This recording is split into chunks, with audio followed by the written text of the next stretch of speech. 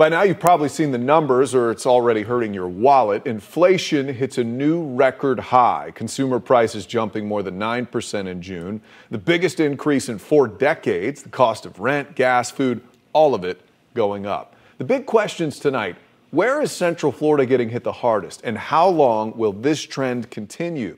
News 6's Lauren Cervantes is getting the facts from experts. An economist tells me the industry feeling the greatest impact of rising inflation is the housing market here in Central Florida. But he says the group that's hurting the most are those that are low income or on a fixed income.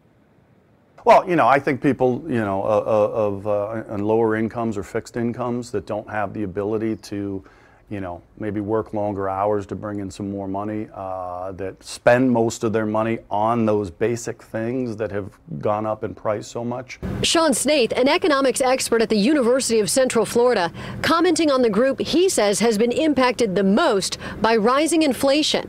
The latest report out today showing the consumer price index rose 9.1% in June. You know, I think it's, uh, it's also important to remember that this, this data is, uh, is a look in the rearview mirror. Uh, it's what transpired in June, and it's not necessarily reflective of what we've already seen uh, here in July, which has been a significant decline in the price of uh, gasoline. A good sign, Snaith says, as we look ahead. But he tells News 6 relief may not come for another 12 to 14 months.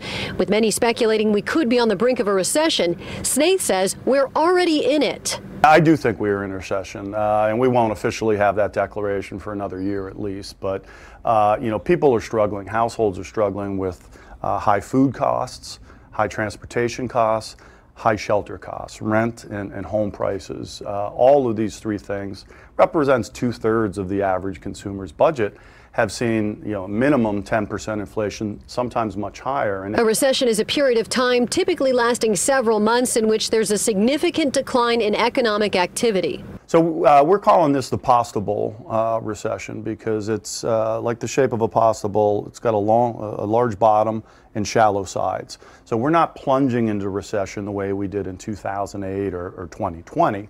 Uh, but we're going to stay in this recession for a while. It's going to take a year to a year and a half for inflation to get back down to levels where you know the Fed is trying to see it, which is around that two percent.